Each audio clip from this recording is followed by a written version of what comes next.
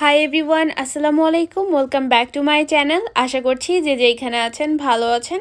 আমার চ্যানেলে এখনও যারা সাবস্ক্রাইব করেনি তাদেরকে সাবস্ক্রাইব করে আমার ফ্যামিলির মেম্বার্স হওয়ার অনুরোধ রইল।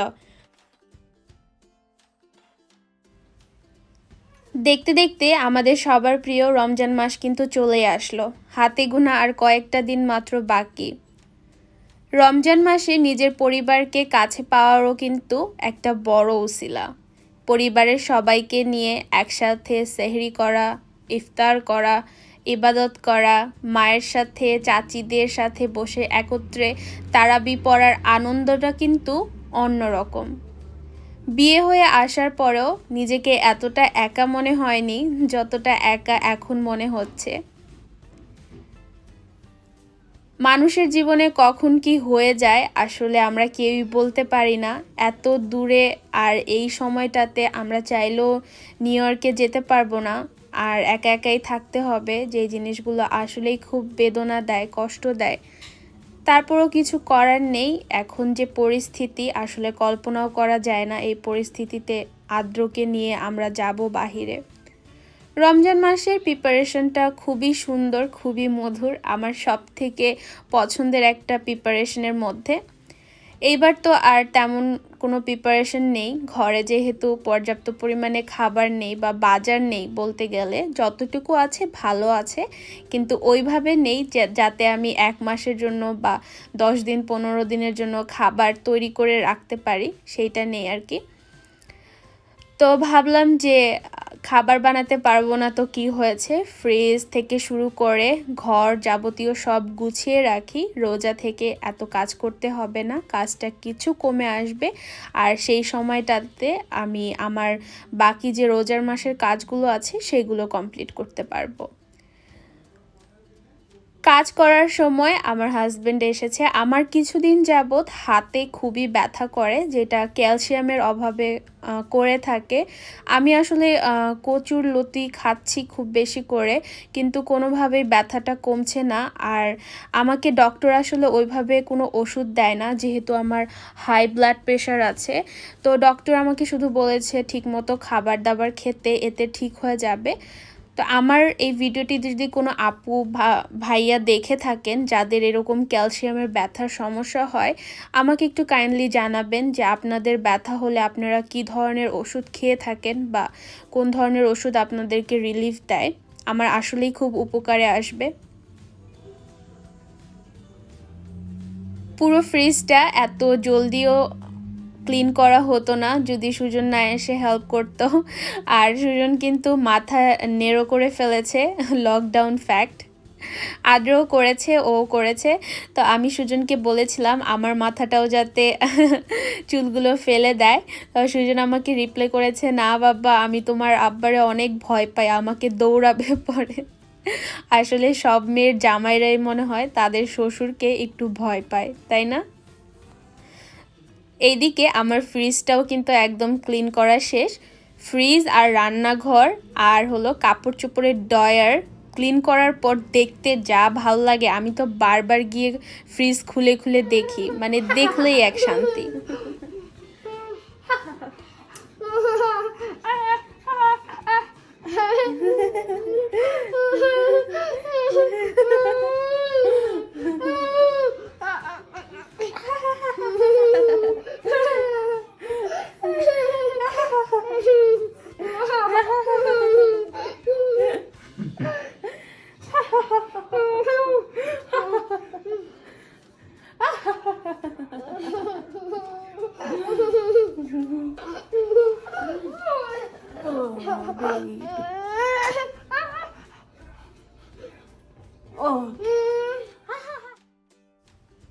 মাঝখানের ভিডিওটা আমি আদ্রর সব খালামণিদের জন্য রাখলাম, যারা আদ্রকে খুব বেশি ভালোবাসে এবং সব সময় আদ্রকে ফলো করতে আমার ভিডিওগুলো দেখে।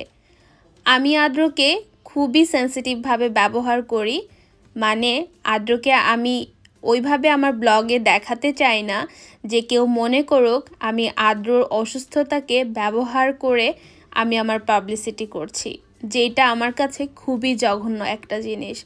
তারপরও মাঝে মাঝে কিছু সাবস্ক্রাইবার বা সাবস্ক্রাইবার করা ছাড়াই কিছু দর্শক আপুরা এসে এমন এমন কমেন্ট করে যেই কারণে আমি আমার সন্তানকে তাদের হাত থেকে বাঁচাতে চাই। তারপরও এত বড় সাহস করেও আমার ছেলেকে সামনে আনি আমার সেই সব আপুদের জন্য, যারা আমার ছোট্ট ময়নাকে আসলে অনেক ভালোবাসে এবং আমি সেটা ফিল করতে পারি। তোমাদেরকে অবশ্যই আমি ধন্যবাদ দিব না। আমার পক্ষ থেকে আদ্রর ছোট্ট ছোট্ট এরকম হাসি খুশির ভিডিও থাকবে আমার প্রত্যেকটা ব্লগে যাতে তোমরা দেখেও আদ্রকে অনেক অনেক ভালোবাসা আর দোয়া পাঠাতে পারো।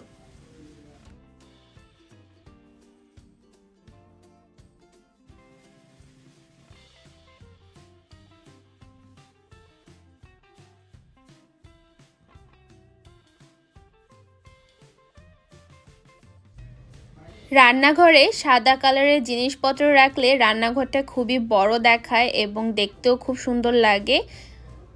সাদা জিনিস রাখলে যতটা সুন্দর লাগে, ময়লাও কিন্তু খুব দ্রুত হয়। আমি এখানে কিচেন টাপটা ভালো করে সাবান দিয়ে ধুয়ে তারপরে এই সুন্দর সেন্টের একটা স্প্রে দিয়ে দিচ্ছি যাতে ভালো একটা সুন্দর গন্ধ আসে। আর সব জিনিসগুলো সাজিয়ে নিচ্ছি যেটা যেইখানে ছিল।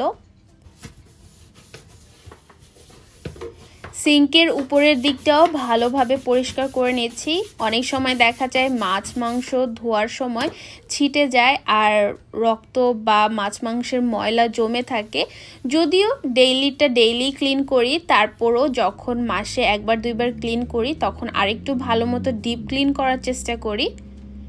আর ডয়ারগুলো তো অবশ্যই, অনেক সময় দেখা যায় হাতের মধ্যে একটু হলুদ ভরে থাকলে ডয়ারে লেগে থাকে বা বিভিন্ন মশলা। ওই দিন কাজ করে এত এত টায়ার্ড ছিলাম। রাত্রের জন্য আমি আসলে তেমন কোনো কিছুই রান্না করতে পারিনি। এর আগের ব্লগে যে দেখিয়েছিলাম, একটু মুরগির মাংস রান্না করেছি। সেই বেঁচে যাওয়া মুরগির মাংস দিয়ে আর বাসমতি চাল দিয়ে আমি একটা ইনস্ট্যান্ট বিরিয়ানি তৈরি করে ফেলেছি। বিরিয়ানিটা যে এত সুস্বাদু হবে আর আসলে এই বিরিয়ানির টেস্ট করবে, এটা আমার কল্পনার বাহিরে ছিল। তা আমার হাজব্যান্ড খুবই মজা করে খেয়েছে, আমিও খুব মজা করে খেয়েছি। আমি এটাকে রেসিপি বলব না। আমি আসলে নিজেকে ওই রকম পর্যায়ে এখনও মনে করি না যে আমার রেসিপি শেয়ার করার মতো যোগ্যতা আছে। বাট আমি এইটা বলতে পারি যে আমি আপনাদের সাথে শেয়ার করতে পারি এই বিরিয়ানিটা আমি কীভাবে রান্না করেছি। হয়তো বা আপনাদের ঘরে ছোট বাচ্চা থাকলে বা রান্নার মুড না থাকলে, মুরগির মাংস থাকলে চট জলদি রান্না তৈরি করে ফেলতে পারবেন।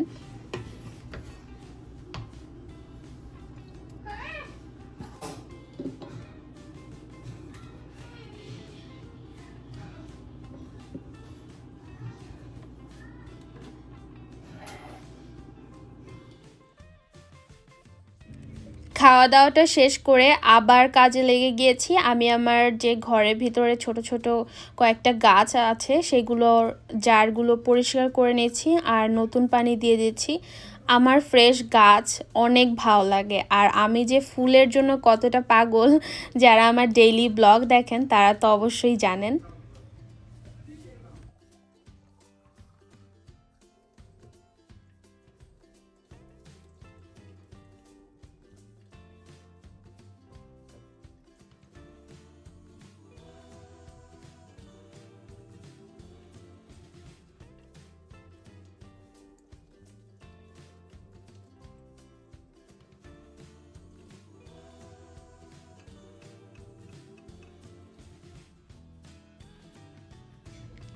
তারপরে এদিকে ওভেনটাও ক্লিন করে নিচ্ছি। গত কয়দিনে আমার একদমই ওভেনটা ধরাই হয়নি। আসলে সব কাজ মিলিয়ে এত ব্যস্ত। আর আমি ইদানিং দেখছি ঘরে থাকাতে কাজও বেড়ে গেছে আমার হাজব্যান্ডের এই কাজ, সেই কাজ, শত কাজ মিলিয়ে আসলে ভালোই ব্যস্ততায় দিন কাটছে। পৃথিবী বন্ধ হলেও মনে হয় না আমাদের গৃহিণীদের কাজকর্ম কোনো অংশে কমেছে বা বন্ধ হয়েছে। তো আসলে আমাদের বেডরুমটা তো সবসময় গোছানোই হয়, কিন্তু আমাদের যে আরেকটা বেডরুম আছে সেইটা গোছানো হয় না। তো আদ্রর এইখানে কিছু ম্যাট্রেস ছিল, এটাতে আরও ঘুমায় না। তো আমি ভাবলাম যে এগুলো রেখে দেই, ও যদি বাহিরে কোথাও বেড়াতে যায় তাহলে ওর ছোট ক্রিপটাতে ও এটা বিছিয়ে শুতে পারবে, আর ওরও একটু কমফোর্টেবল হবে। তো আমি এগুলো ভালো করে বেঁধে তারপরে ক্লোজেটের ভিতরে ঢুকিয়ে রাখছি। আর এই সব কাজে হেল্প করছে আমার হাজব্যান্ড তো সব কিছু করার পর, পরের দিন সকালবেলা হোম ডিপো থেকে ক্লিনার ভাড়া করে এনে পুরো ঘর আসলে ভ্যাকুম করেছি। এটা খুবই ভালো আর খুবই সুন্দর পরিষ্কার হয়। তো এই তো আজকে ছিল আমার বক বক ব্লগ আশা করছি সবার ভালো লাগবে। সবাই ভালো থাকবেন। আসসালামু আলাইকুম।